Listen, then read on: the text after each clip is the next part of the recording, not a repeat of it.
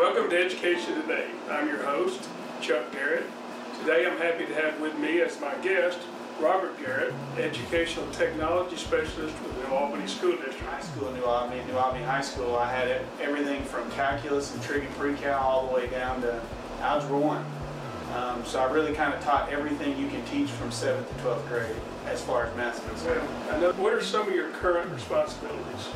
So in the in the school district, I mainly um, maintain the infrastructure of the internet and then do any type of technology purchasing and uh, kind of vision around what technology we purchase. That way we don't have a hodgepodge of Chromebooks, Windows devices, and Mac. We started with kindergarten through second grade, and we said we want kids to be able to type 20 words a minute by the time they finish second grade.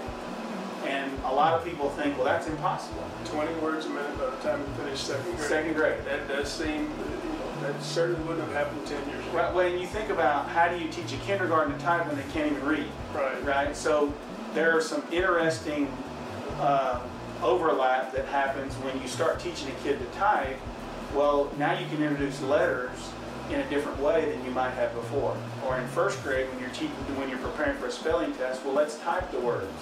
And so you're you're kind of it's not like you're saying, okay, everybody stop, we're going to learn computers right now. Right. You just kind of embed it into the regular standard curriculum. Seeing the world a little different, and when you have a student who maybe is tech savvy, now I'm not advocating for sit in your dark room and play Fortnite all day for sure. Right.